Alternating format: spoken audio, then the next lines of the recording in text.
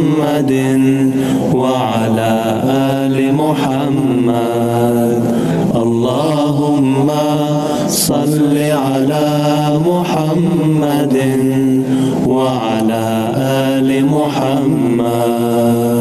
رسول كريم رؤوف رحيم سراج منير محمد. أول العابدين خاتم النبيين رحمة للعالمين محمد.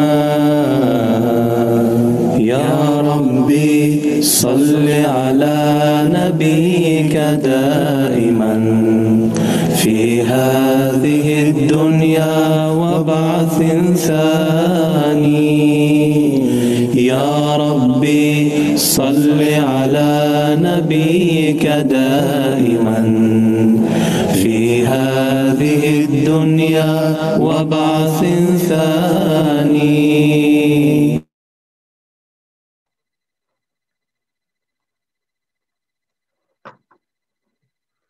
Assalamu alaikum. Peace be on you. Good evening. On behalf of the Ahmadiyya Muslim Jamaat at Calgary, it's my pleasure to welcome you to all you all to this virtual World Religions Conference. The Calgary chapter of the Ahmadiyya Muslim Jamaat has regularly held interfaith events across Alberta, but with the arrival of COVID-19 and compliance with the health authorities being our top priority, we've had to change things.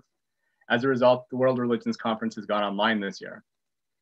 My name is Dr. Dan Hawes. I'm currently serving as the Chair of Humanities and Social Sciences and the Discipline Head for Philosophy at Red Deer College. I completed an, an, undergraduate degree at the University of Calgary, followed by a master's in philosophy at Simon Fraser, and I finished my formal education with a doctorate in philosophy from Florida State University. I work mainly in the philosophy of mind, particularly in the philosophy of action and free will, um, but I'm also very interested in moral, social, and political philosophy and the history and philosophy of the sciences.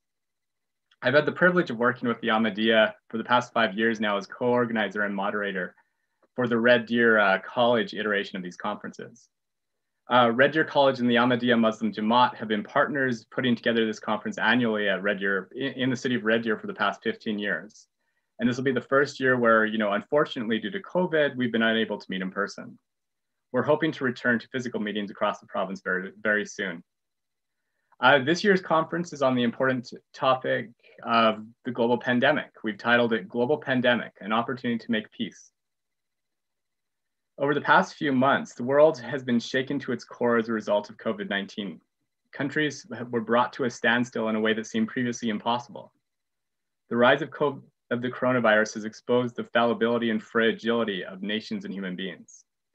As the whole world suffered, it required a global and unified effort uh, to contain and combat COVID-19. Yet regrettably, instead of unity, uh, further division and conflict has been all too apparent as countries and leaders have blamed one another rather than seeking to build trust and support each other. The economic consequences of COVID-19 are set to exacerbate and compound this misery and could easily, easily further destabilize the peace and security of the, of the world as a result. Are the paralyzing and devastating effects of the pandemic a warning to mankind to reform and forego all forms of injustice? Is the current pandemic an opportunity to recognize uh, the creator and to fulfill the rights of his creation? How can faith leaders help foster a spiritual or mutual cooperation between the world communities? To seek answers to these questions and provide you with an opportunity to ask your own questions, um, we've assembled a panel of learned scholars from atheism, Hinduism, Christianity, and Islam. Uh, today's event being a virtual program, we're at the mercy of technology, and even with the best efforts, sometimes things can go, and go wrong. So we implore you to bear with us and hope for the best. Now, a brief agenda for tonight. We're going to start with a recitation from the Holy Quran, a brief introduction to the Ahmadiyya Muslim Jamaat and the World Religion Conference. This will be followed by presentations from the panelists, as I've said, representing atheism, Hinduism, Christianity, and Islam. Uh, there will be messages from other, uh, from many of the friends of the World Religion Conference. All this will be followed by a question and answer session and uh, a brief closing remark. So to begin, I'd like to request Saeed Labi Janud uh, to recite a portion from the Holy Quran and present a translation. Assalamu alaikum wa rahmatullahi wa barakatuhu. May the peace, blessings, and mercy of Allah be upon you all. أعوذ بالله من الشيطان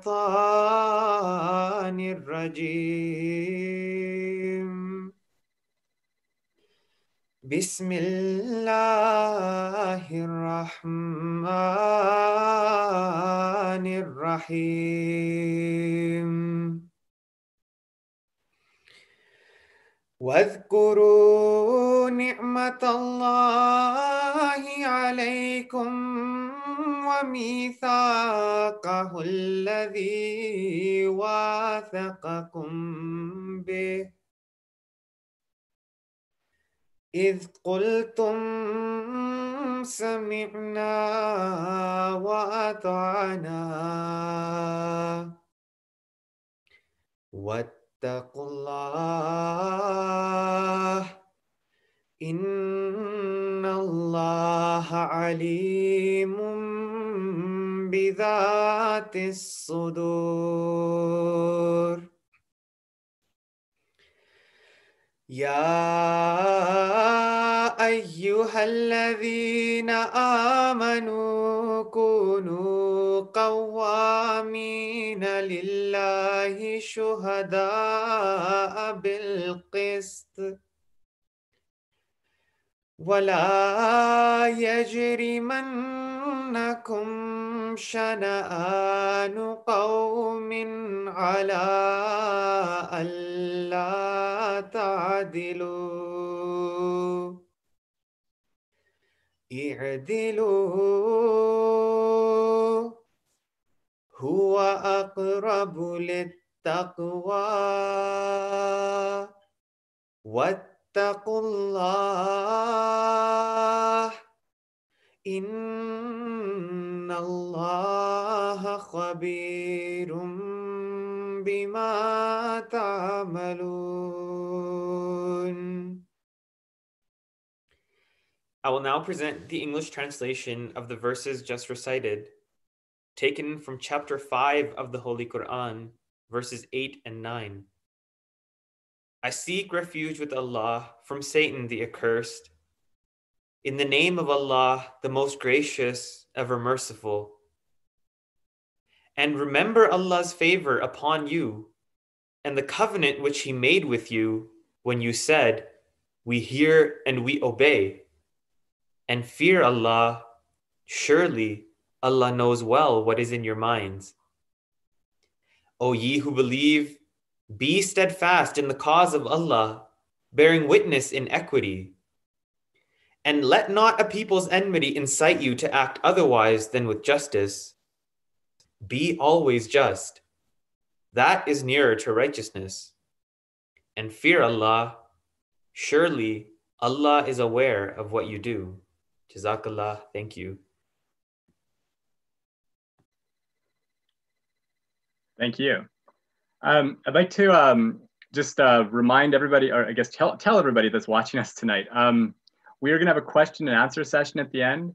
Um, so I'd, I'd, like to request all of all of our viewers to um, text any questions or comments you have to 587 200 5359. Again, that number is 587 200 5359. Um, up next, I'll provide a brief introduction to the Ahmadiyya Muslim Jamaat and the World Religion Conferences. The Ahmadiyya Muslim Jamaat is an international revival movement within Islam, uh, and they have members in over 200 countries. Uh, some of the key Islam teachings or concept, uh, concepts practiced by the Ahmadiyya Muslim Jamaat are that they believe all human beings are created equal, irrespective of their race, their color, their creed, or their gender. Uh, only those are better who are more conscious of their creator and act accordingly. However, it is God's prerogative to decide. Life is a chance to recognize our creator, and death makes us meet our creator and face judgment day. So we need to be watchful of our acts in this world. Um, and then peaceful coexistence in this world is fundamental and it is over and above any religious belief. Uh, the golden principle for interfaith harmony uh, the, home, the holy founder of the Ahmadiyya Muslim Jamaat at Hadrat Mirza Ghulam Ahmad says, God has informed me that of of the religions which have spread and are firmly established in the world through prophets, holding sway over a part of the world and achieving survival in long life, none was false in its origin. Nor, were, nor was any of those prophets false, because it, is, because it is the eternal practice of God that a false prophet who lies against God, who is not from God, but dares to forge things from himself, never prospers. A gift for the Queen, page four. Uh, the Ahmadiyya Muslim Jamaat uh, uh, focuses on promoting peace. They reject all forms of extremism. The founder of the community, Hadrat Mirza Ghulam Ahmad, the promised Messiah and the Mahdi, declared that extremism and an aggressive jihad with the sword has no place in Islam. The best way to defend Islam is through an intellectual jihad with the pen. To this end, Ahmed penned over 80 books and 10 thousands of letters, delivered hundreds of lectures, and he engaged in scores of public debates. The motto of this community is love for all, hatred for none. Now, the World Religion Conferences are an opportunity to exchange ideas and explore topical issues in a spirit of mutual respect. Um, they were so envisioned by the holy founder of the Ahmadiyya Muslim Jamaat over a century ago. Uh, the Ahmadiyya Muslim Jamaat affirmed the value of interfaith interactions for enriching our awareness of the our awareness of the divine being in the world, and in Canada, these symposium and conferences have been held for over four decades. Now, the World Religion Conference has been going on for, uh, you know, several years uh, in Alberta. Um, the conference has covered a wide variety of topics over those years, from gender equality to human suffering, to living a meaningful life, to the relationship between science and religion. And tonight's uh, contribution, you know, dealing with the pandemic and um, how we as you know religions and citizens and you know faith traditions should respond to it. You know that's going to be another great topic. So i'm very pleased uh, to introduce our panel of uh, speakers for tonight. With us tonight to discuss global pandemic and opportunity to make peace is uh, caroline russell king uh, representing atheism. Hello caroline. Um, pankaj dulabai representing hinduism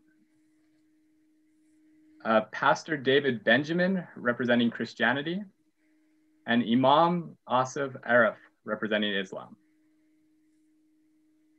Now, before we get started tonight, um, I mentioned at the outset that we have a number of partners that have been holding world religion conferences alongside the Ahmadiyya Muslim Jamaat for past several years. And many of those uh, friends have um, agreed, they've, they've sent in messages uh, to be part of this um, tonight's, I guess, event.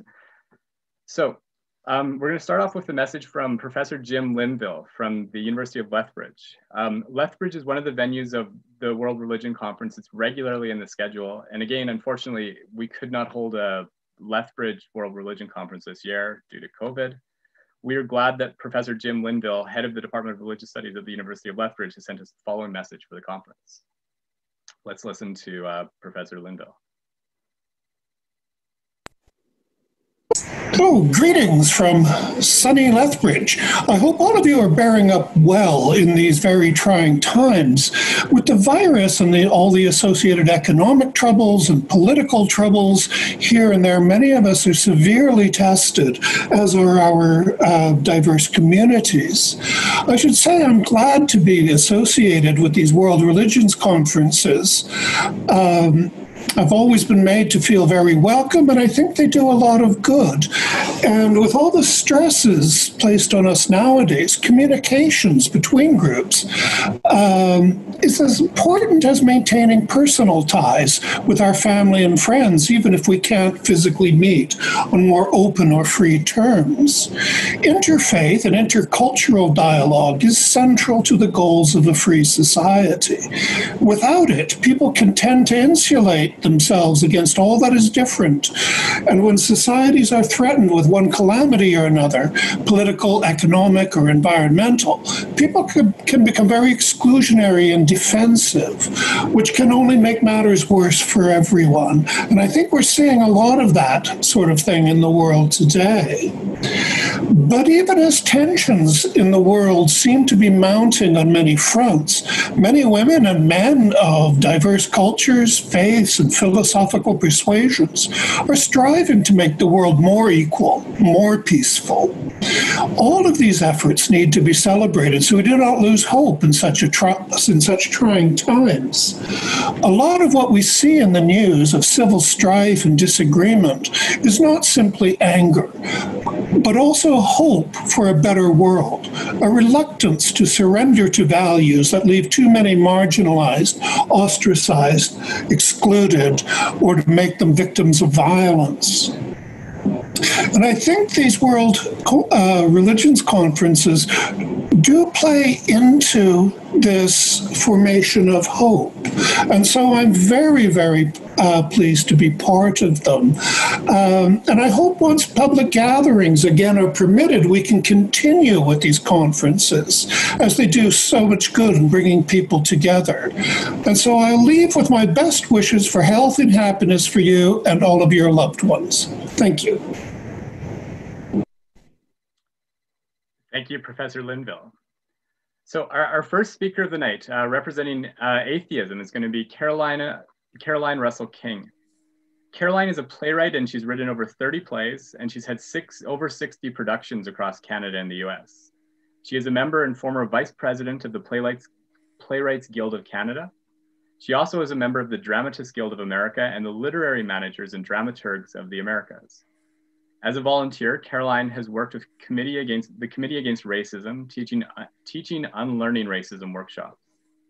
She was a multicultural change facilitator with the United Way, and she's worked with, the, uh, with Amnesty International. Caroline is a member of the Atheist Society of Calgary and the Center for Inquiry. She has founded the Non-Religious Liberty Task Force, which works on issues of separation of church and state in Alberta. So uh, welcome, uh, Caroline.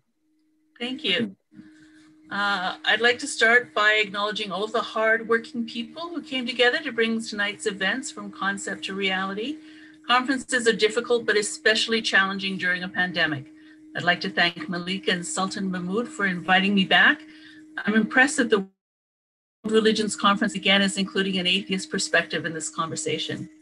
Distinguished panelists, honorable participants, fellow primates. I'm not going to dwell on the pandemic's death, pain, and suffering and subsequent economic fallout, which in turn creates more pain and suffering. People are afraid. Fear is the proverbial double edged sword. Fear is the one thing that has helped keep our species alive through millennia, but it can also lead us as humans to turn on each other. We especially want to hold someone or something accountable for all the injustice and pain we see around us. As humans, and very afraid humans, we can unite when we come to the realization that our common enemy is the virus. We can come together in solidarity around this. My position is that the two things that are going to help us defeat it are science and empathy. I'd be willing to bet that despite the differences in our backgrounds, our religious positions, our philosophical points of view, and our politics, I'm willing to bet that my fellows understand science and have huge amounts of empathy. I think overwhelmingly the kind of people who attend conferences to learn and be exposed to other points of view don't refute scientific facts about the virus that has infected and killed millions. If others choose to deny that the, uh, that the world is in the grips of a global pandemic, then we don't have much to talk about. How do we collectively argue logic and reason with folks who are illogical or unreasonable? I don't know. Logic says that when we learn new facts and new information, we should change our position and understanding. I'm very open to constantly learning and I seek to understand and learn from all the participants here tonight. This brings me back to my two commonalities, science and empathy. When we understand science, we understand the method of transmission for COVID-19 and so we isolate, go for tests, wash our hands, keep our distance, wear masks. And because we have empathy, we care about our fellow humans on the planet and we wish them no harm. So we isolate, go for tests, wash our hands, keep our distance, wear the masks. When we understand science of how vaccines work to prevent disease, prevent disease and save lives, we support immunologists, chemists, and medical researchers to make a vaccine. Because we have empathy, we want to protect the people we love from dying and suffering, and so we make sure that they will have access, access to a future vaccine. The great thing about empathy is that it can be a part of all religions. But we don't need to be religious to have empathy. The same for all moral, morality. One can be moral without religion. One can be an atheist and be moral, or be an atheist and be immoral. One can be religious and moral, and one can be religious and immoral. Morality, like empathy, is a construct that exists outside of atheism, or theism, or deism. The issue that perplexes me and some of my fellow atheists is the denial of science and facts. We can be entitled to our own opinions, but we're not entitled to our own facts. Across religious communities, I'm interested to hear what others say about what God's role is in COVID 19. There are generally four options. God is A, unaware that it's happening, B, aware but unable to stop it, C, aware but unwilling to stop it, D, deliberately causing it. Since I find no scientific evidence for gods, I have E, no opinion of this. I do, however, have empathy with those that are trying to figure out things in these trying and challenging times. As well as we all do, we have empathy for those who are ill and dying as a result of the virus and the subsequent pain, suffering as a result of isolation and economic pressures and mental stress. As an atheist, of course, I don't believe in God, but I understand that others have a need to pray and prayer gives solace and comfort. I have empathy for people who wish things to be different I wish that things were different also. I don't believe that a miracle will save us. I, however, empathize with others wishing for things to change. I believe in the power that exists when humans come together and help other to help others, other humans heal. In short, my position is that the established medical community will heal us. They rely on the years of education and practical application of their knowledge. Uh, if others of us choose to believe that this is facilitated by a supernatural power, that's not important to me as long as everyone has access to that medical help when they need it.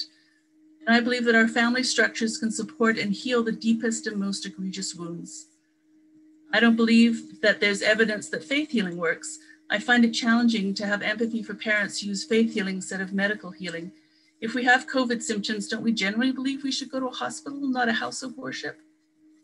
I am an imperfect non believer trying to use logic and reason to figure things out. I do believe that we're all trying to figure things out. We're all on a quest for knowledge and wisdom. We're all trying to do the best we can in trying circumstances with compassion.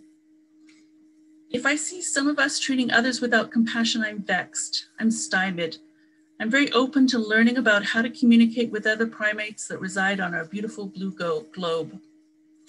However, if your religion says we aren't on a globe, but the earth is flat, I find this problematic, along with others who believe that the world is 6,000 years old instead of 4.54 billion years plus or minus 15 million years. I find this challenging, but for the most part, most atheists really don't care what we choose to believe as long as the separation of church and state is maintained.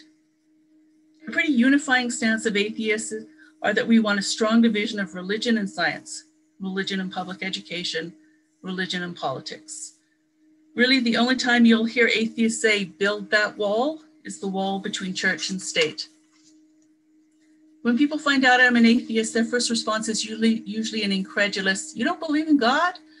They are in disbelief about my atheism, and I am doubtful about a lot of things, so skepticism brings us together. And really, it's not that I don't believe in any gods, I just don't find any evidence for them. At last count, in humankind's history, we've invented 2,996 gods. Most of us don't believe 2,995 of them. I just disbelieve one more than you do. So really, we're closer than you think. When we realize that we're all in this together and our common enemy is the virus, we can all win. When we recognize the weapons we wield to defeat the virus are sympathy and empathy, we can all win. I'll end with a quote. One day, a student asked anthropo- anthropologist uh, Margaret Mead what was the first sign of civilization in a given culture. The student expected Mead to tell him about a hook, a pottery, or a grindstone, but Mead replied that the first sign of civilization in ancient culture was a thigh bone that had been broken and then healed. She explained that in the animal kingdom, when an individual breaks its leg, it dies. It can no longer escape danger, neither go to the river to drink water nor seek food it becomes an easy prey for the beasts on alert. No animal can survive a broken leg. The time that it takes to, till the bone is tied again. Healed thigh bone is the proof that someone spent time with the patient, tied his wound, transported him to a safe place, and helped him. Margaret Mead said that the starting point of a civilization was the help to someone in difficulty, the first sign of solidarity. That's the end of the quote. So I see this as empathy. I may not believe in a God, but I believe that science and empathy can be used to promote peace and mutual coexistence. Thank you.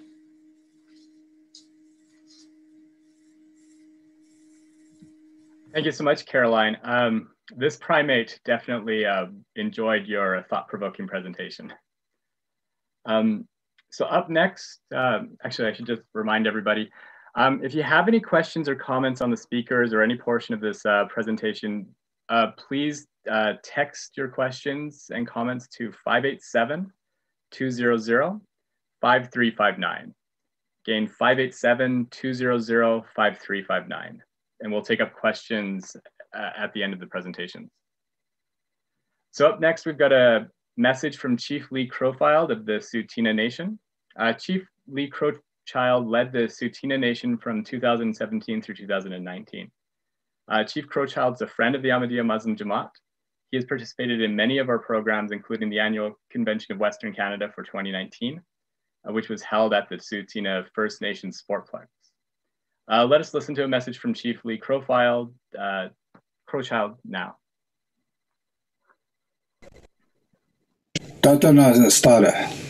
I am Chief Lee Crowchild of Tsuut'ina. I was asked to make comment on our realities. We all know what the pandemic is about, and we all reacted accordingly. Called the first wave. The first wave was about fear fear about the what ifs and the unknowns and people talk of the second wave. Well, what is the second wave? The second wave isn't about fear. The second wave is actually about love. True, we might get a rise in cases of coronavirus, but that's just a repeat of the first wave. We move towards creating the second wave. The second wave that moves towards love. And you can see it happening social justice is coming about, social unrest, change. And it might seem ugly at first, but it's necessary. When we pray to whoever we call God, Allah, Creator, Isa, as we would, or Nata, we all ask for to make things better. And the world listened. Our Mother Earth listened and says, okay, you want change? I'll make some change. This is what it's going to look like. So we have to remind ourselves that we did pray for change. We didn't know what the change would look like. Now it's come. As we move forward, it's more important than ever to open these dialogues and not close them. Canada is a cultural mosaic of many nations, many new immigration that's come to here. So it's much more important that we carry on a call to action, a call to make things better, because we all have to share this land. We, as First Nations, we are the stewards of this land, and it is our responsibility. No matter what happens, we belong to this land, and we act in such a way. So I invite you all to continue this dialogue this dialogue of sharing, of getting to know one another, of creating better understanding. I look forward to having more dialogue with any and all of you. And I look forward to when we can come together as brothers and sisters once again and share meals and share love. After all, we have to do this for the seven generations that are coming after us. Siaskas. Thank you very much. Thank you, Chief Crowchild. Um, up next, we're going to hear from somebody representing Hinduism, um, Pankaj Dulabai, a professional engineer who immigrated to Canada in 1984. He and his wife, uh, Shraddha, have two children, a son and a daughter. They're both married. Pankaj is interested in reading, traveling, photography, and software development. He's part of the Swadhyay Parivar, a spiritual and cultural organization registered in several countries in the world, including the USA and Canada. I, I'd like to welcome Pankaj. Thank you. Um, before I begin, I would like to say a prayer, but uh, also I'd just like to mention that yes, I do belong to the Swadhyaya Parivar, but I'm in no way representing Swadhyaya Parivar today. Whatever I'm going to say is my own understanding of the work that they do. Okay. Vasudeva Devam Devaki Paramanandam Krishna Vande Jagat Guru. Says, O the son of Vasudeva, you are the Lord who destroyed the demons, Kamsa and Chanura. You give the ultimate joy to Mother Devaki, and we bow to you, Krishna, as the Lord of the universe. Guru Brahma, Guru Vishnu, Guru Devo Maheshwara, Guru Sakshat Para Brahma, Tasmai Shri Gurave Namah. Guru is the representative of Brahma, Vishnu, and Shiva. He creates and sustains knowledge. He destroys the weeds of ignorance. I salute and bow to such a guru. Um, I'd like to share the screen now.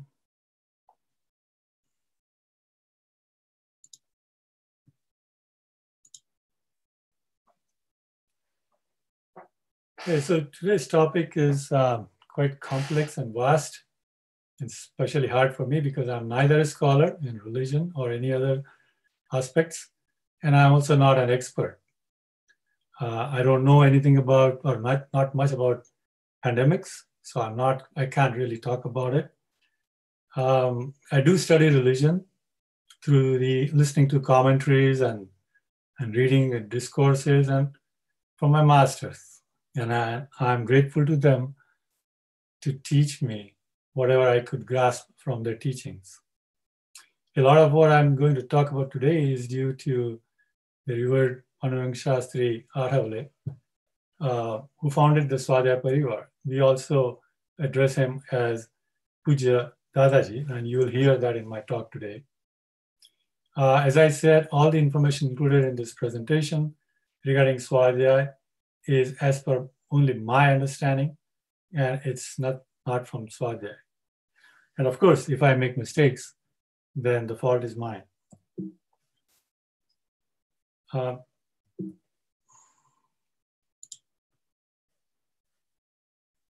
so we are talking about making peace, and peace to me means peace of mind.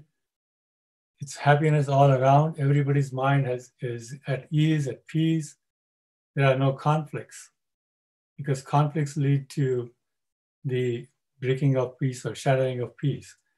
And there are a number of reasons and uh, causes for conflicts in this world. And I've listed some of these over here. But the important thing is that conflicts have been around with us for uh, centuries now. Um, for thousands of years, religion was able to bring stability to uh, the human life. And that's because religions, they teach us how to live our life, how to deal with other people and the society in general. Um, but the influence of the religion has been diminished and is diminishing. And in my opinion, it's more because of the technology and the science and the advancements there. And uh, these things are good. I'm an engineer myself. It has made, those things have made our life easy. Uh, there are no repetitive tasks. And nowadays, of course, we get to play with all the wonderful toys that technology uh, uh, produces. So obviously, people are more drawn towards these things these days rather than towards religion or any of the other things. And uh, to this, uh, I think some of the people may even consider religion as old-fashioned or anti-progress. Now, as I said, um, um, I'm not an expert in pandemics, But pandemics or no pandemics, or there is really no good time or a bad time or right time or wrong time to think about um, making peace. In other words, how do we um, resolve conflicts, remove or re- reduce conflicts? And that's what I'm going to talk about more than about pandemics and its immediate effects. Um, we have tried through uh, different types of governance, all these isms like socialism and communism and things like that, to reduce and remove conflicts or to create a society where there are the conflicts are minimum or minimal. But um, I must say that the, the I have succeeded maybe, but success has been short-lived. And what we are looking for actually is a more permanent solution. And in, I think that most of the attempts at, at resolutions of conflicts, uh, the privileged ones, uh, the two sides of the conflicts, the privileged and the, un, um, the underprivileged or the disadvantaged ones, the privileged ones have to either give up or share uh, some of their privileges or whatever they have earned through great effort. And usually people don't like to do that. Um, and so we need to be looking at something else. And in my opinion, this is again my opinion, I think we can bring the two sides together if we can create a situation where the privileged really don't have to give up anything or share anything unless they really want to, or the situation should be such, environment should be such that they really feel like sharing whatever they have. And at the same time, those this, we have to empower the disadvantaged ones because they we don't want them to feel that uh, we are doing it because we have pity for them or that they should be obligated and do something else for us. So how can we do that? This looks like or sounds like an impossible task. Um, Pujya was born and raised in a family of Vedic scholars and teachers, and uh, he was himself a scholar, uh, and he has given lots of uh, uh, lectures. And but since his childhood, he was always troubled by inequality, social divisions, untouchability, and things like that around him. And he always wanted to um, get rid of these things or you know bring resolve conflicts. And he was a, a student of philosophy. Of course, Vedic philosophy was his main subject, but he also studied Western philosophy. And so, in his search for a solution to uh, these issues that he was seeing around him, he came up with a model, which is the family. The biological family that we see today is one example of that, or the starting point for that. So in a family, we have parents and the kids. Parents love their kids and they also nurture them. And they, but they bring up the, the children in an environment that promotes unity, harmony, respect for others, trust, and willingness to help them out, their, their, their brothers and sisters, love, and of course, sacrifice. And so a, a family has everything, almost everything, that we are looking for in this world to bring down the, the amount, the number of conflicts that we may be facing at any time. So if, if we have these biological families with all the, the requisite uh, qualities, can we think of a bigger family which consists of a, a number of these individual families. And then can we transcend all these good qualities that I just talked about that if each family is supposed to have, and they do generally have, can those qualities transcend these boundaries of individual families? And then we come up with one big family where or which inherits all these good qualities that, that we are talking about. So in, in Bhagavad Gita, uh, Lord says, uh, I reside in every heart. And he also says that I'm the one who digests the food that you eat. This is a very powerful message. In a sense, what he's saying is that the, the God or the Lord, the um, supreme power, the creator of this whole universe, is within me. And he's just not within me, but he's active. Because he says he digests the food, which means that when a food is digested, it generates energy, which means that he's sustaining me. He's actually running my life. And so this is a very empowering um, thought when it is understood properly and when it sinks in. Because if the if the creator is with me, I can do whatever I want because he helps me in everything.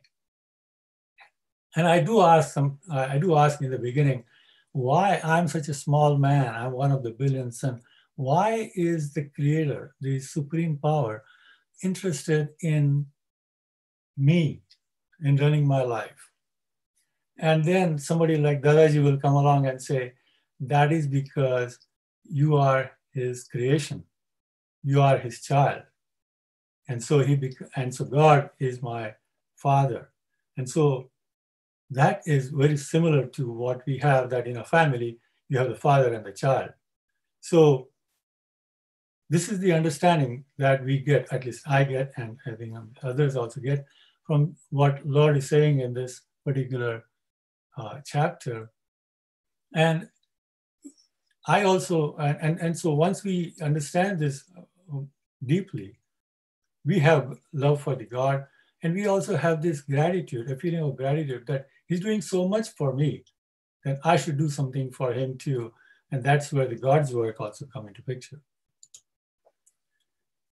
And then again, someone like Dadaji comes along and he says, but just as God is running your life, He's also running the life of the other people. And there is only one God. And so instantly we created a relationship with all the 6 billion people. Because now this relationship is not biological, it's a divine relationship. Again, we have the unifying factor of God, the Father, and we are all the children of the same God. And so we are all brothers and sisters, divine brothers and sisters, and Dadaji called it the brotherhood under the fatherhood of God. And now we have, in, in theory right now, created an extensive, an extended divine family that we were looking for. And so when this understanding is really ingrained in all the families that make up this, make up this family of families, then uh, all those good things that we talked about, they transcend these individual boundaries between the families. Still, the families, individual families, they operate independently. They go about doing their own work, but there is a, uh, a bigger family of which they are part. So, is this thing possible? Is this practical thing, or is it just a dream? And I'm glad to say that no, Dadaji implemented this model in thousands of villages in India where great transformations have taken place. I have personally visited some of these villages. And if you talk to those people there, they will say that what you see today and what you would have seen 15 years back will be two different pictures. Today, you see selfless love and respect and devotion and, and all those things. But 15 years back, there was hatred and violence and gambling and alcoholism and all. But with the these thoughts coming in to these Swadhyay families, things have changed. It generally takes 15, 20 years for a majority of the families in a village to adopt this. And it becomes a bigger village, a bigger family.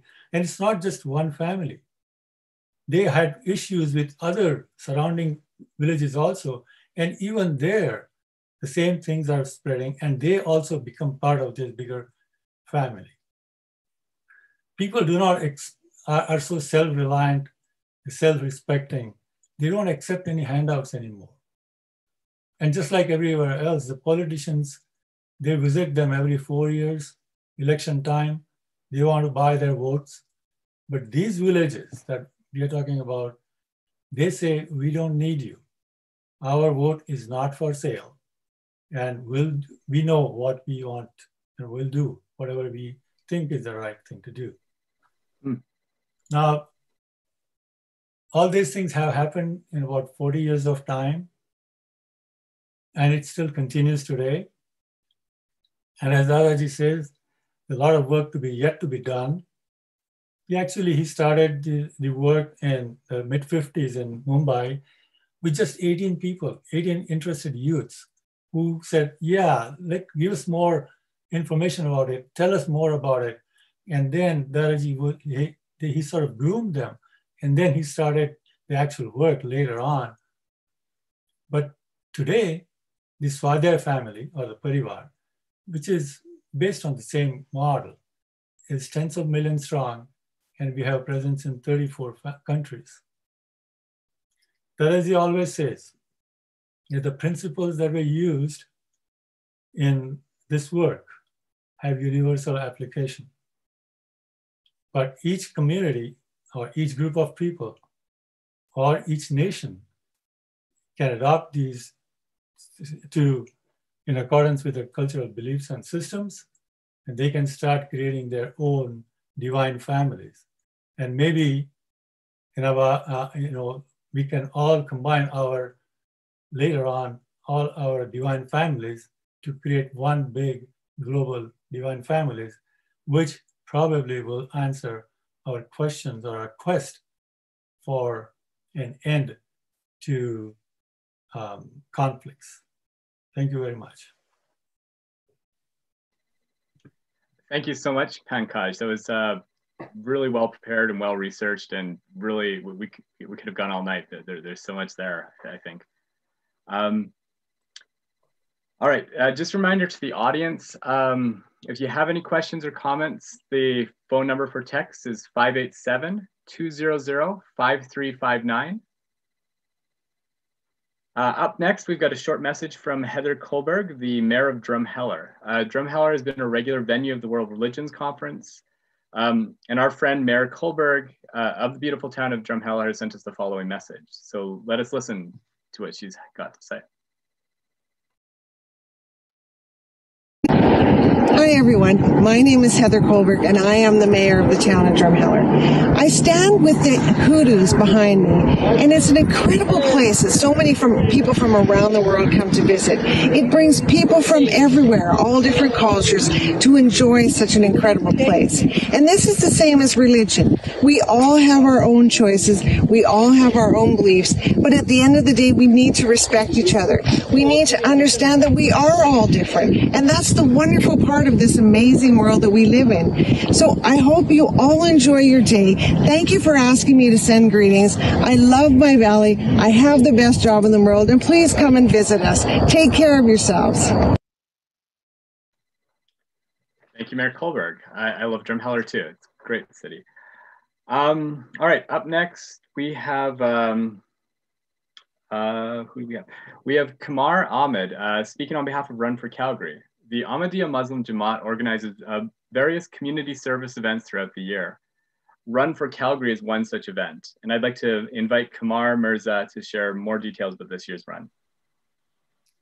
Thank you, Dan. May peace and blessings of Allah be upon you all watching from home. The 2020 Run for Calgary in support of the Canadian Blood Services will be held virtually on September 27, 2020 at 11 a.m. The Run for Calgary is an annual event that was created and organized by the Ahmadiyya Muslim Youth Association for the sole purpose of providing a grassroots program to raise funds and awareness for non-for-profit and other social organizations in Calgary.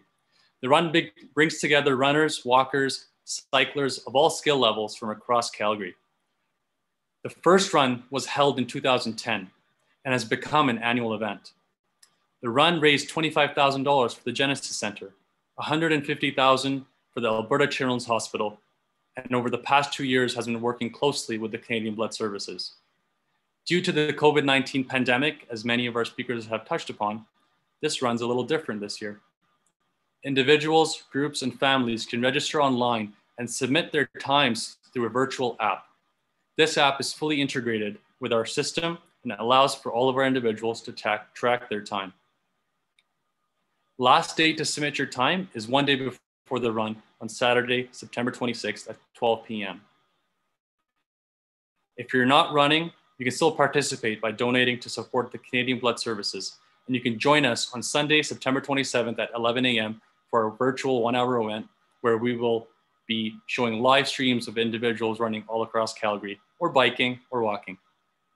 Again, the Ahmadiyya Muslim Association has been supporting the Canadian Blood Services and this event for the past 10 years. And this year we join, we encourage you to join us again. And our website is available below.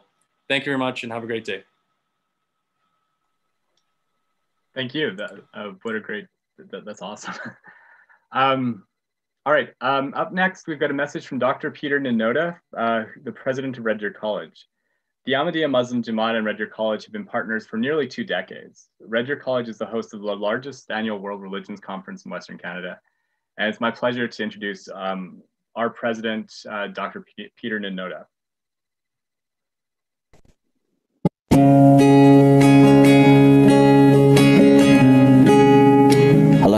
I'm Dr. Peter Nunoda, and I'm here to bring greetings on behalf of Red Deer College to the annual World Religion Conference. RDC is a proud partner with the Ahmadiyya Muslim community in Calgary in presenting uh, this annual event.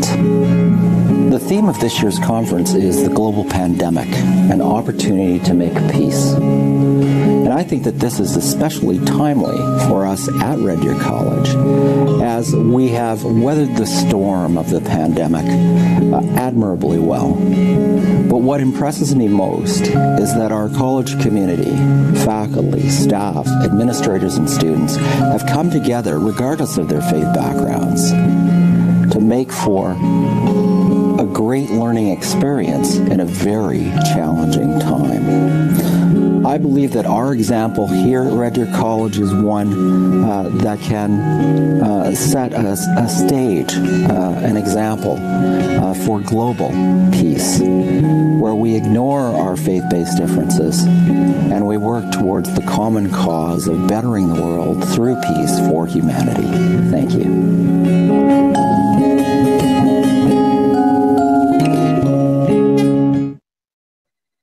Thank you, Peter.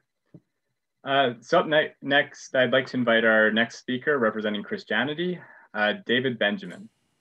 David Benjamin emigrated from India as a student. He married and settled in Alberta, and he has primarily served bivocationally in retail management and Christ Christian pastoral roles. He was a Bachelor of Science student at St. Stephen's College in New Delhi when the opportunity arose to study overseas.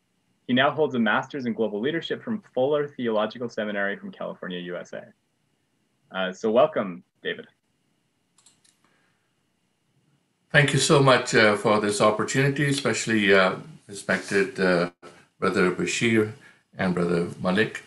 And uh, we, um, I want to take this opportunity to recognize also uh, Pastor Ashwin Ramani from Center Street Church. And so, with whose help I'm able to join this panel this year, and it's a great privilege for me. And so, a little bit about me um, is uh, that I've had the opportunity um, to to learn um, both as a student as well as um, the opportunity to to work both in the in the secular field as well as in the pastoral realm. And so, my association with Center Street Church comes from that which is a part of what is called the Evangelical Missionary Church of Canada. And I currently pastor uh, at uh, Yeshu Mandi, a congregation here in Calgary. And as we think of um, the, the synopsis that was offered by Brother Malik in the email that I received, about the current situation, uh, as he described, and, and I have added to it a little bit, that the world is shaken, countries brought to standstill, fallibility and frailty of individuals, organizations, and have been exposed, and, and I've elaborated on them that that includes religious, business, government, uh, and systems and environment as well as we recognize uh, these days. And so the question uh, um, that is before us that how can our leaders, uh, faith and uh, agnostics, help foster a spirit of mutual cooperation to bring peace and stability in our communities?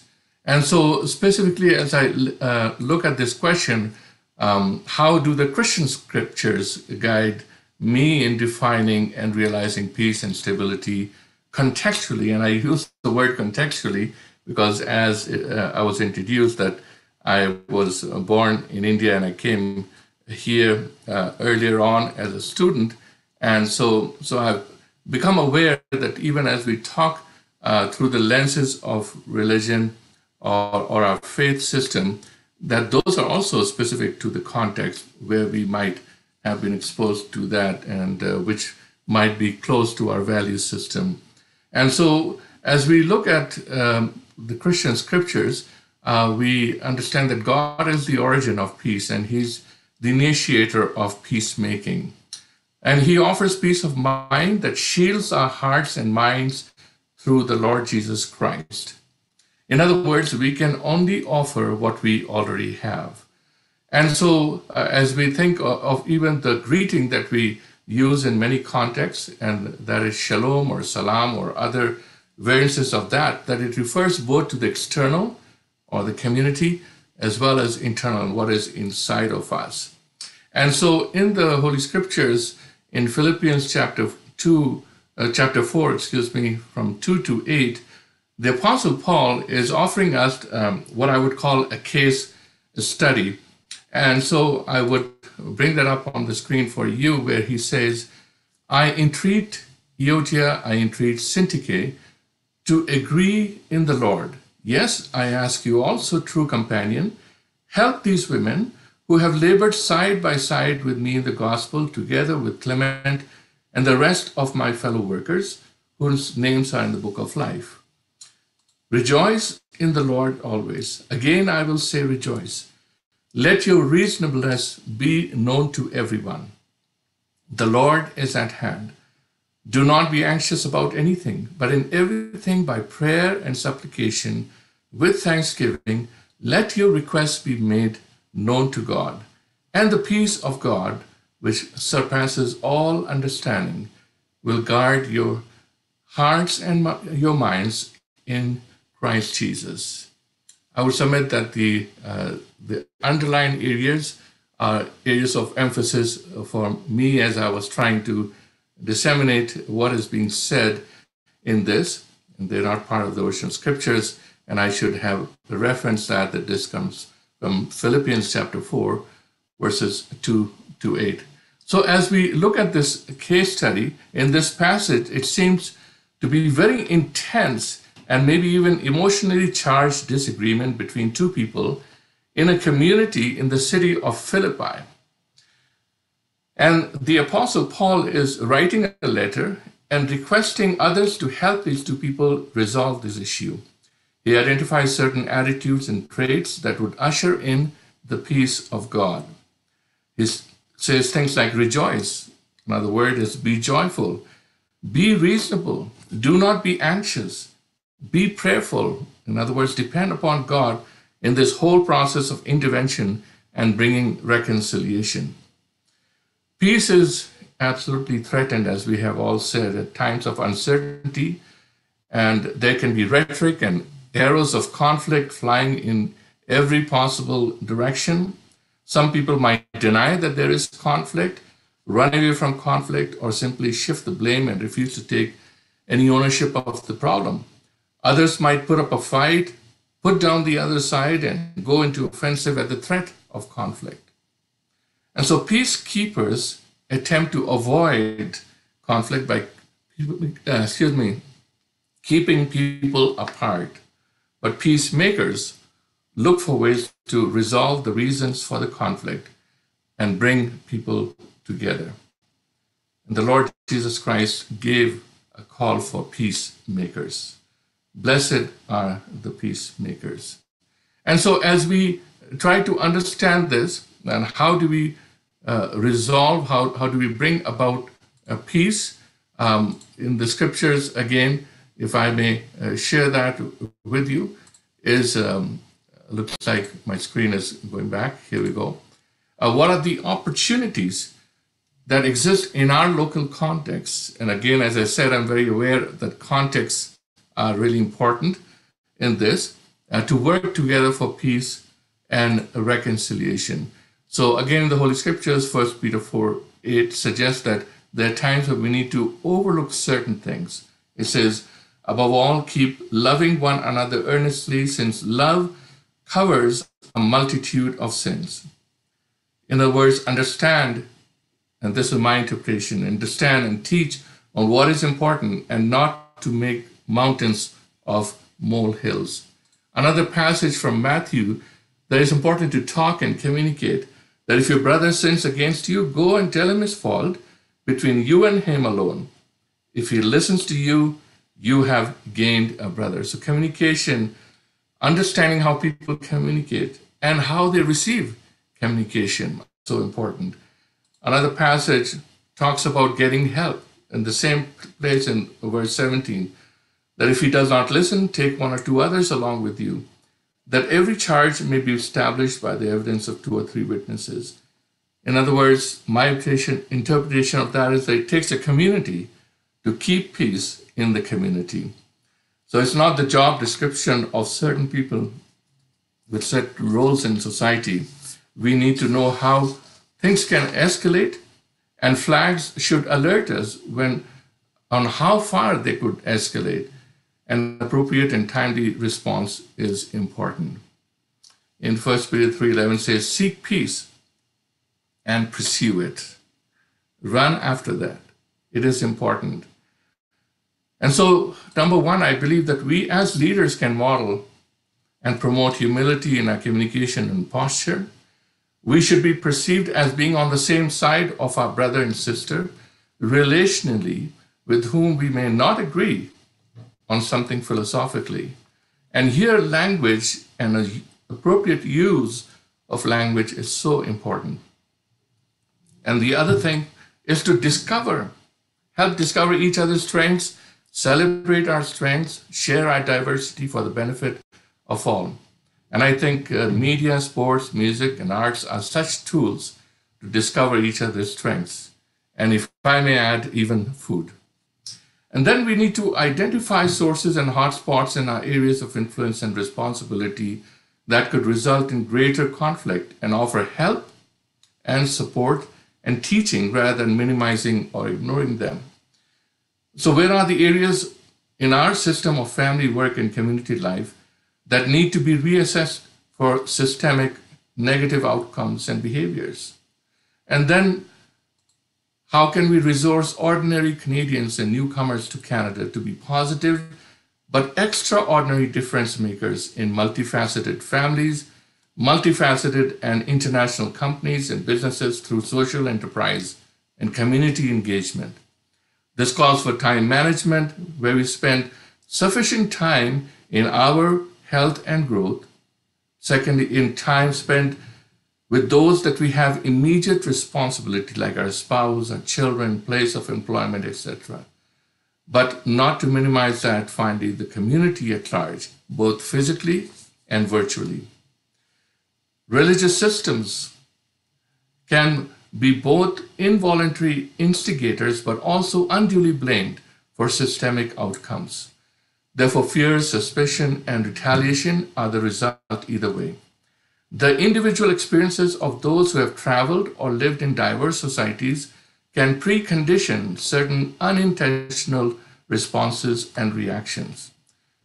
People, for example, can work side by side at a grocery store, at a factory, or on an engineering project, but be worlds apart in how they are profiled by Facebook and other social media news feeds. So fear and anxiety can stifle our ability and motivation to work with each other. Humor and comedy are a great medicine where we start to see the lighter side of life, take ourselves less seriously, and then be energized to take real challenges seriously and passionately. The Apostle Paul says that as we work hard in the right posture and with the right tools, that we are all invited to experience the peace of God through our Lord Jesus Christ that will guard our hearts and minds. Sin and the devil are ultimately the reason for conflict internally and communities. Jesus' death on the cross made the way for its restoring us to God our Father and defeat Satan and to make peace with God and remove fear and anxiety from our hearts and minds. Finally, my brothers and sisters, we work for God's approval. Our engagement may not make the news or TV or radio. We may not see immediate results, and people may not respond as we might expect or have certain expectations of us. At the end of the day, we need to remember that we can do our best with the knowledge and wisdom that God offers us and leave the rest in the hands of a good God and Father of all mankind. Thank you so much. Thank you, David, for a very informative presentation. Uh, we had a great comment come in in the middle of your in the middle of your speech. I thought you might want to hear. Uh, they said, um, "This is a beautiful concept. We are all one big family because God resides in us all and unites us inside. Selfless love and respect really can transform."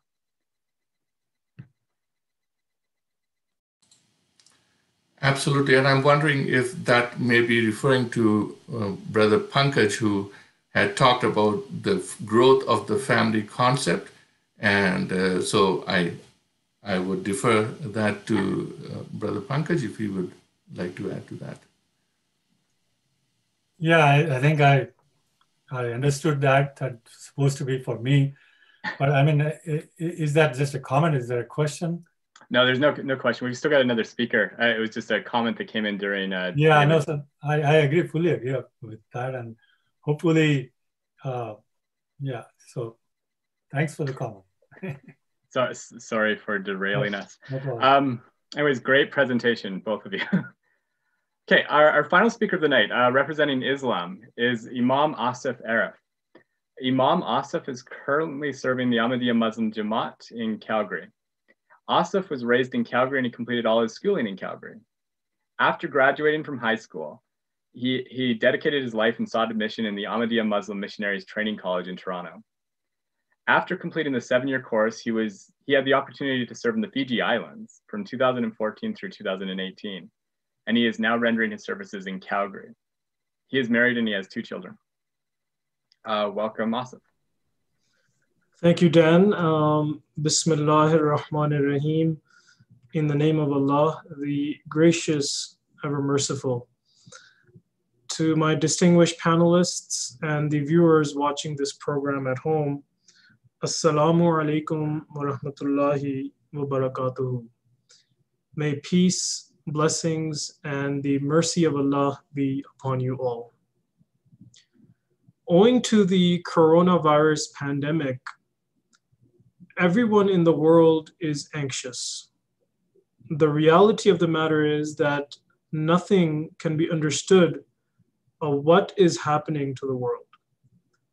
But the Holy Quran speaks of the conditions of the time in which we live.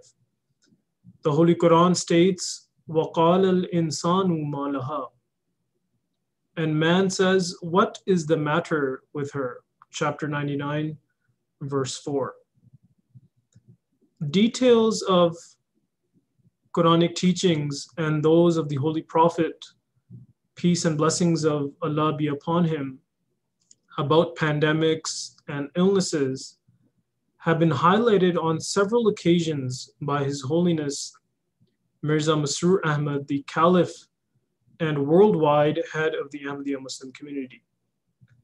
Now, my religion, Islam, presents a complete code of life and it guides me at every junction of life and teaches me to live a balanced life. For example, the importance of good hygiene has been stressed in the Holy Quran.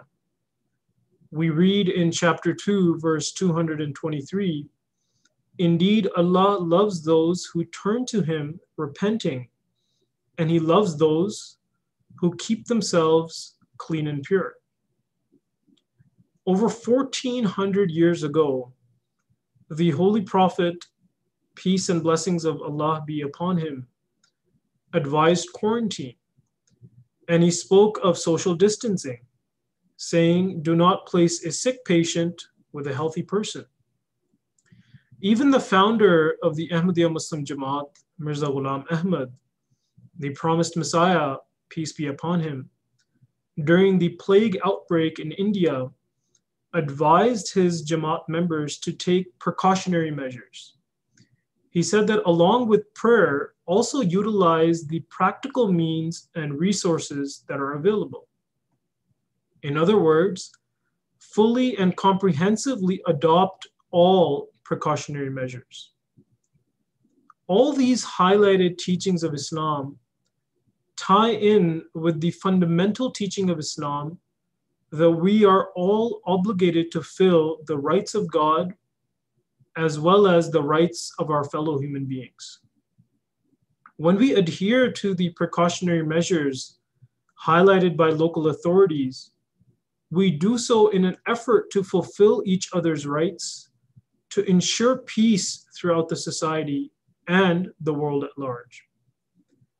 We are currently experiencing a global pandemic but what has become all too apparent is how godlessness is on the rise. This precarious situation should be a cause for us to turn to our Creator with a greater zeal and passion and fulfill His rights by worshiping Him wholeheartedly.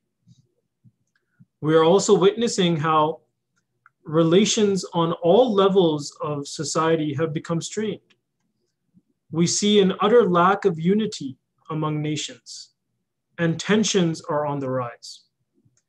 A sense of anxiety rests in the hearts of everyone as to what the future may hold. Divisions are growing deeper. There is a lack of justice, and peace seems to be a distant reality. The reality of the matter is that we yearn for justice at every level at every level of society, from the grassroots all the way up to the international stage. We have to realize that peace and justice are inseparable. You cannot have one without the other. Certainly, this principle is something that all wise and intelligent people understand. We should all remember that human knowledge is not perfect, and at times our decisions lead to unjust outcomes. God's law, however, is perfect. His law is based entirely on justice. The day the people of the world come to recognize and understand this crucial point will be the day that the foundation for true and everlasting peace will be laid. Now, what does Islam say in relation to international relations that are based on justice? and so a means of establishing peace. In the Holy Quran, God Almighty has made it clear that whilst our nationalities or ethnic backgrounds act as a mean of, means of identity, they do not entitle or validate any form of superiority of any kind. Islam teaches absolute justice and equality in all matters. And so we find another very crucial guideline in chapter 5, verse 3 of the Holy Quran. In this verse, it states that to fully comply with the requirements of justice, it is necessary to treat even those people who go beyond all limits in their hatred and enmity with fairness and equity.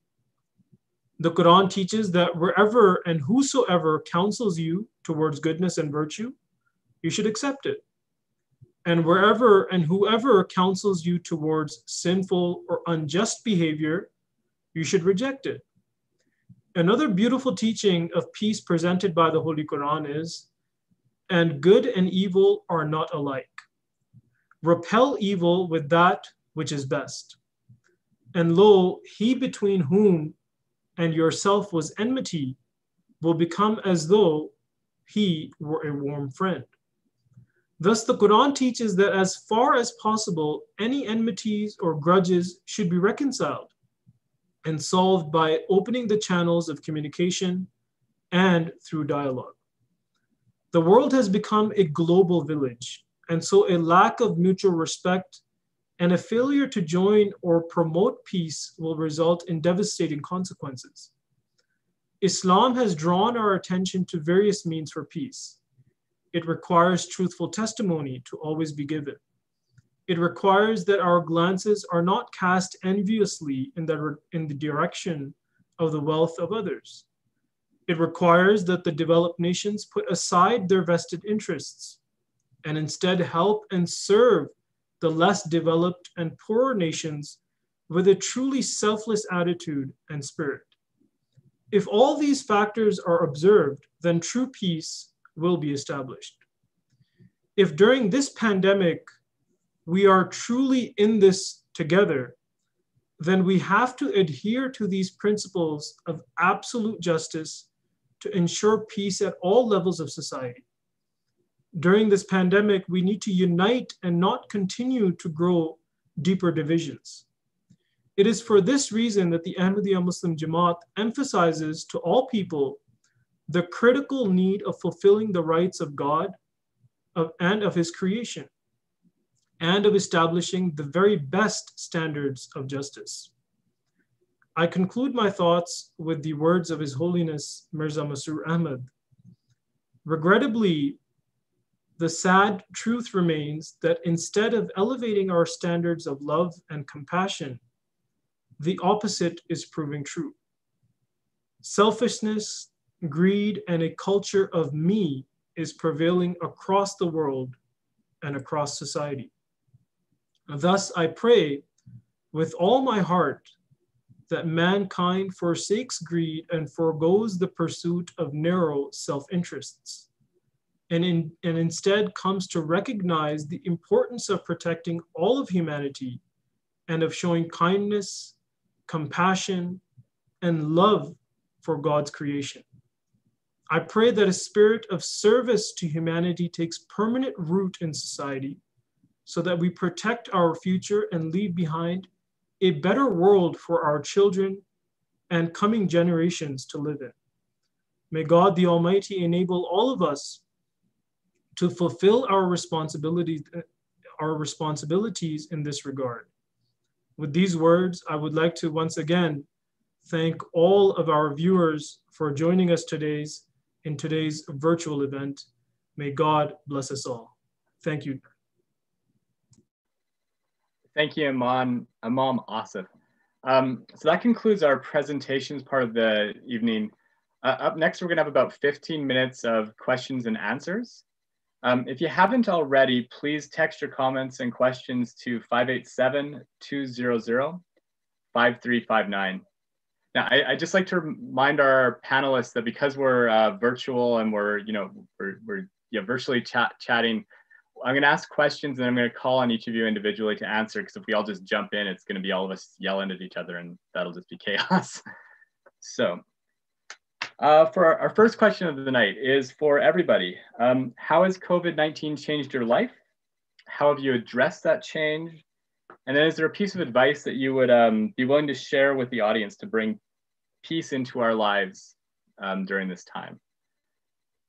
So let's start with um, Caroline. Caroline. Thanks, Dan. Uh, how has COVID changed my life? Well, um, uh, I'm a professional uh, playwright and uh, theater critic, so I am uh, ostensibly completely out of work.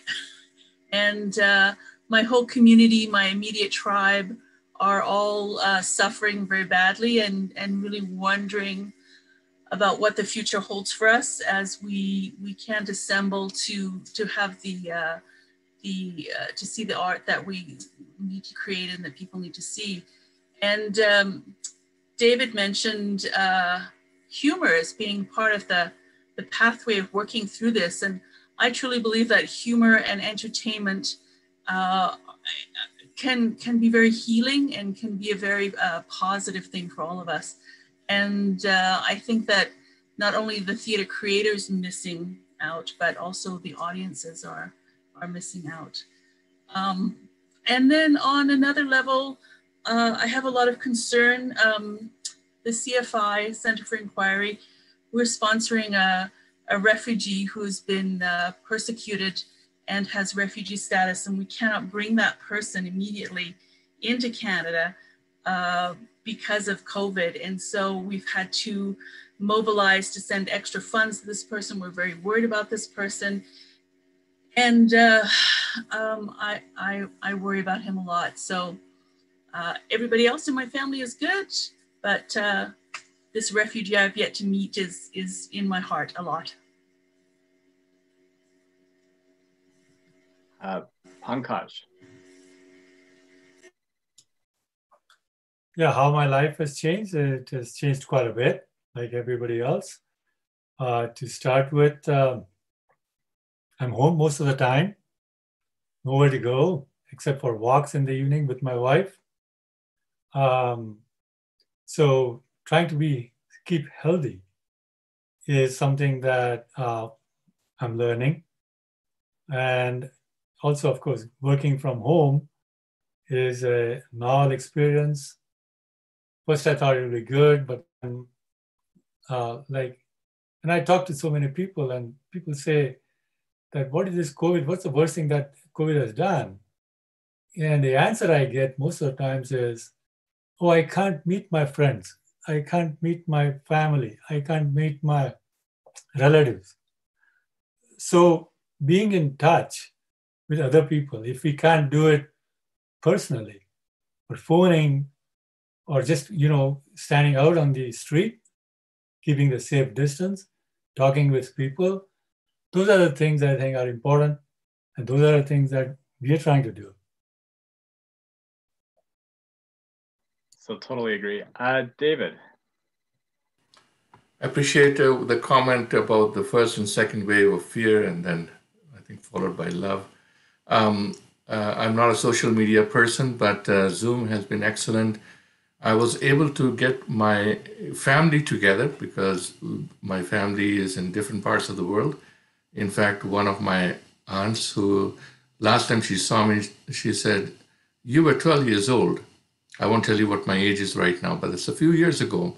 So it's been, um, uh, yes, there has been a grieving of loss of connections but uh, technology has uh, made it possible to rediscover connections, the time to go back and uh, rediscover friends that we had lost contact with. Uh, so, so there's that bit of uh, celebration on my part that I'm enjoying. The only part I don't enjoy uh, or is a shock when you go out to the grocery store and realize people are not in small boxes in two dimension, but they are real and live and and uh, with all those things, you get start watching Zoom uh, or on Zoom meeting for too long, you forget that. So, thank you. Um, Asif. So um, I think for all of us, uh, it has enabled us to uh, use technology to for our advantage, uh, and that's a pretty significant change uh, that has been brought by COVID nineteen uh, in all of our lives. Um, Islam teaches us a, a, balanced approach to life. And uh, the, the thing that COVID 19 has taught us all is the fragility of life and how fragile we are as human beings. And uh, we always need to uh, rely on the divine, and that is our Creator, God. And so the message that I would give to all the viewers at home is that we have to, in the small amount of life that we have, fulfill the rights of God, recognize Him, and fulfill each other's rights to ensure a peaceful society. Thank you. Um, okay, so next question. This is for everybody again, but it's directed at Caroline in particular. Um, so Caroline, you said prayer gives solace and comfort. Um, who do you turn to for solace and comfort at this moment of turmoil? Who do I turn to for solace and comfort? Uh, well, uh, my communities. Um, I belong to several communities, so political communities, uh, social, family, um, the people that I'm working in concert with to do to do good things in the world, uh, where we can uh, support each other and um, and help each other and encourage each other and love each other, uh, and so that's um, that's a big part of it. I'm I'm also a big reader as well, so I I read a lot. I read a lot about uh, you know philosophy and different types of thinking, and so I get inspiration everywhere from Shakespeare to Sam Harris to you know. Uh, so it's it's yeah. That's about it. Thanks. Thanks. Um, yeah, I, have been reading a great book, uh, Seven Types of Atheism, during during the uh, quarantine here. I highly recommend it.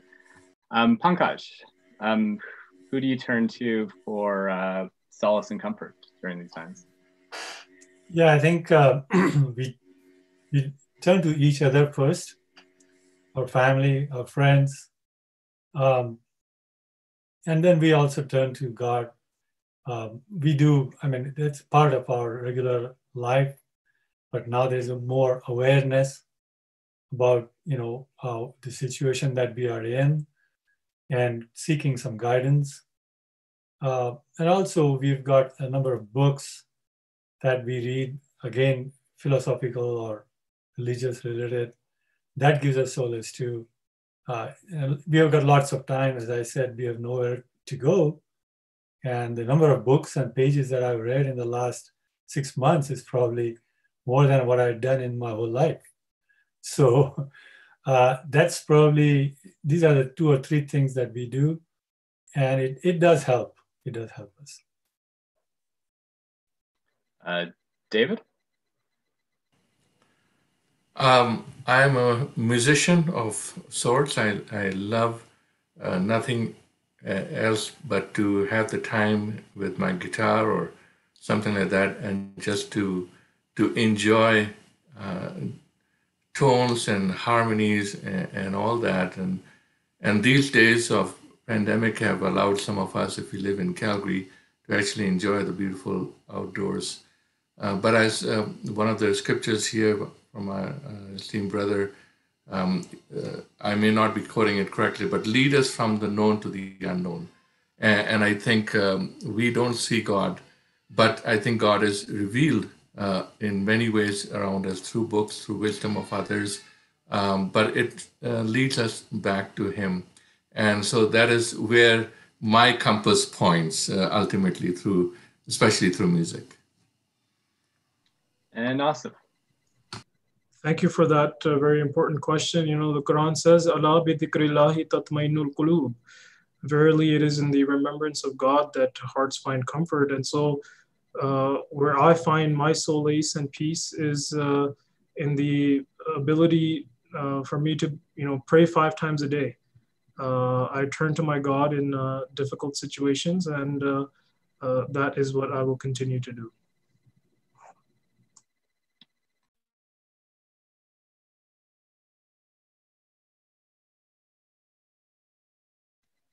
Sorry.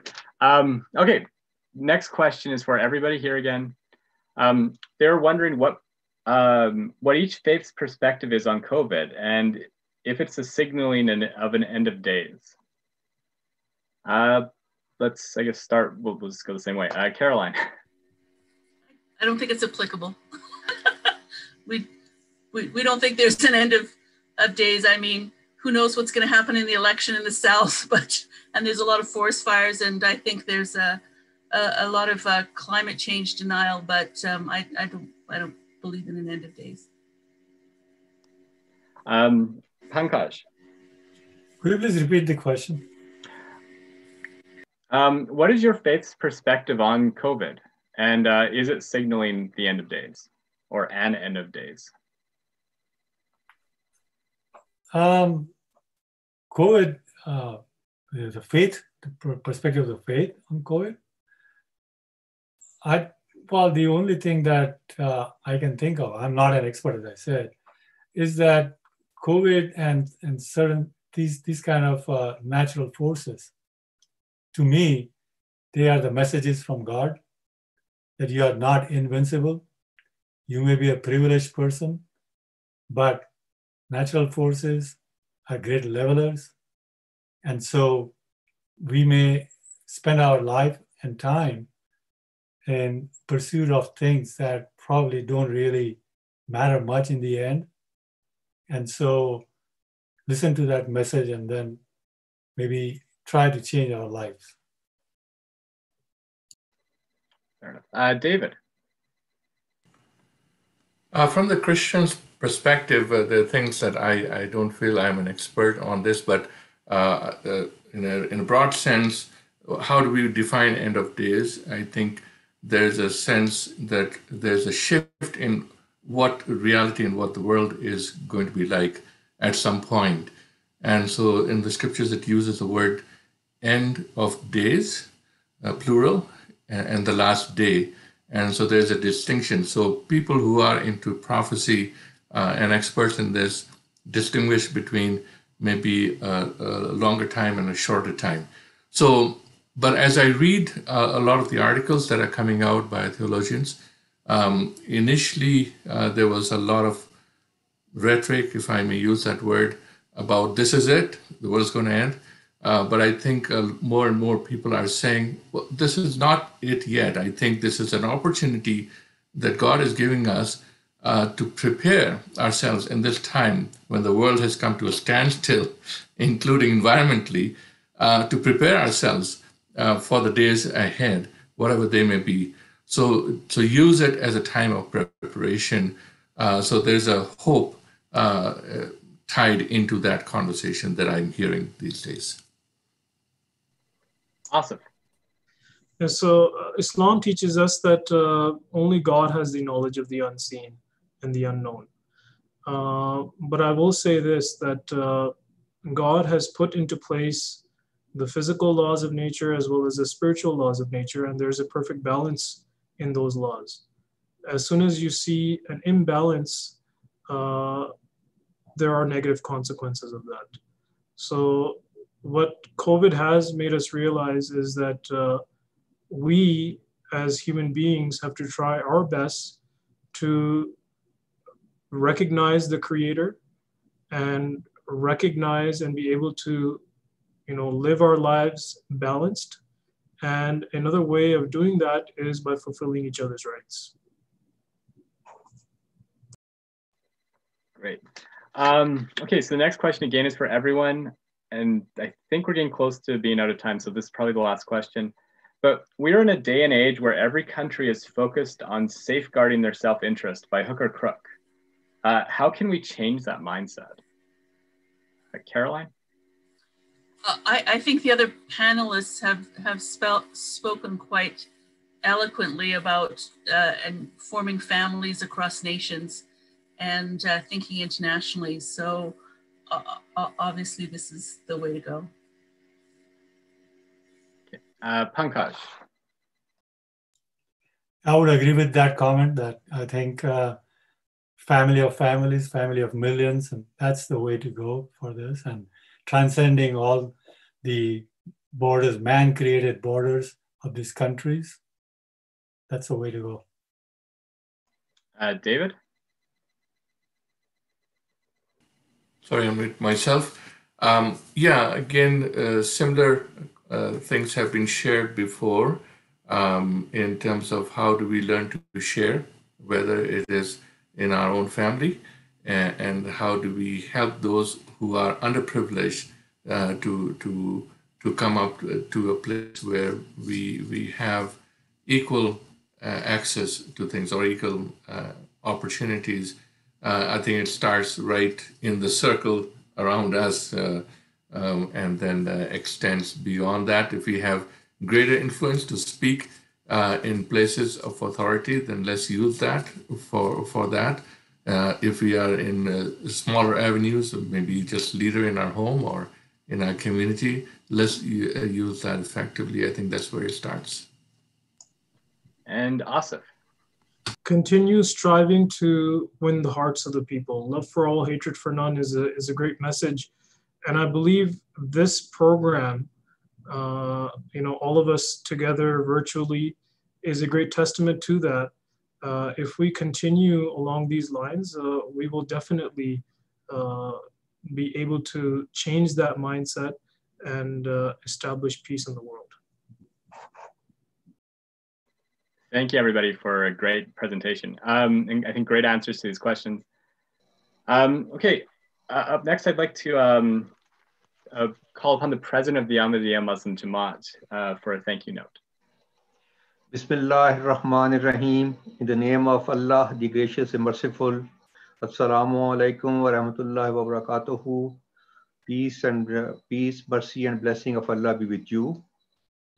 On behalf of the Ahmadiyya Muslim Jamaat and the organizing committee of the Virtual World Religious Conference, I want to, want to express my sincere appreciation and gratitude to all our honorable guests and viewers who accepted our invitation and chose to spend the evening with us.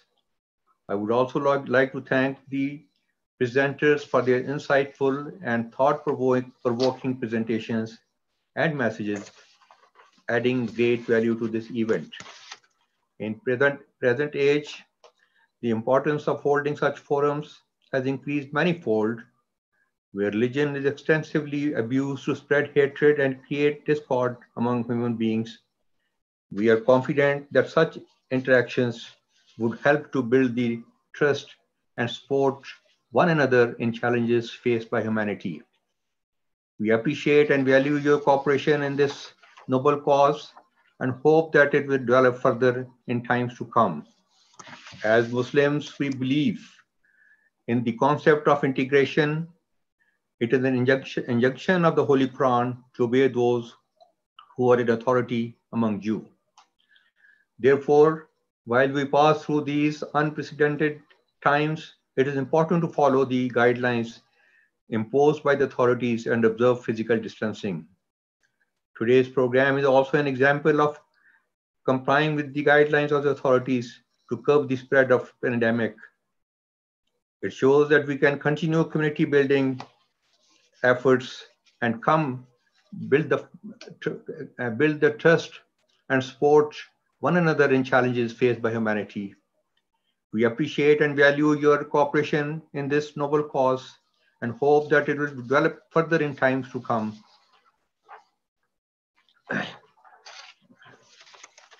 I would also like to take this opportunity to thank our frontline health workers and first responders who's, who are working around the clock while risking their own lives to keep us healthy and safe. Our prayers are with them. May Allah reward them graciously. I also pray that may Allah save the humanity from deadly consequences of this pandemic and enable us to recognize our Creator and to fulfill the rights of the creation. With these words, I would once again thank all the participants and viewers for staying with us. May Allah bless you all. In keeping with the traditions of Islam, we conclude our programs with silent prayers. So I request all the Muslim Muslim brothers to join me in silent prayers by raising their hands, whereas the others can pray in their own way. Please raise your hands and join me in silent prayers.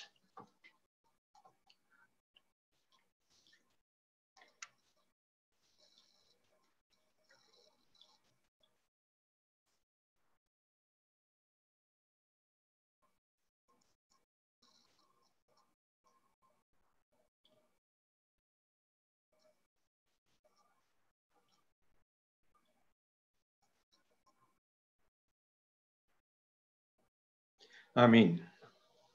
Thank you very much and good night.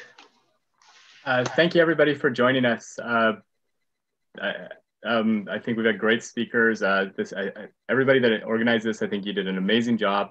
And, and, thank you audience out there in cyberspace for joining us. Hopefully this has been thought provoking and I guess interesting and a little uh, solacing in these very strange times we find ourselves in. Good night, everyone.